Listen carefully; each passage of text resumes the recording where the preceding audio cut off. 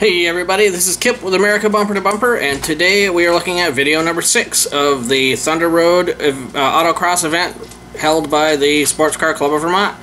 Sit back and enjoy the racing. Vroom vroom.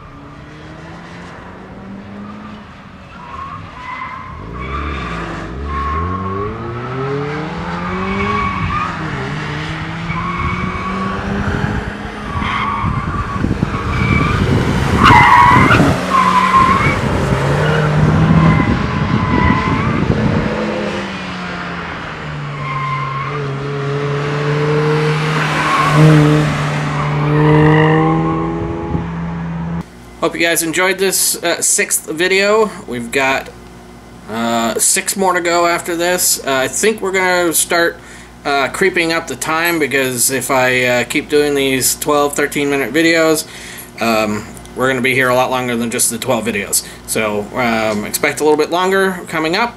Uh, if you enjoyed this video, please hit the like button. button. As well, um, if you are not a subscriber yet, we'd love to you know, have you join the, the crew. Um, hit that subscribe button and the notification bell so you know when new videos are being uploaded.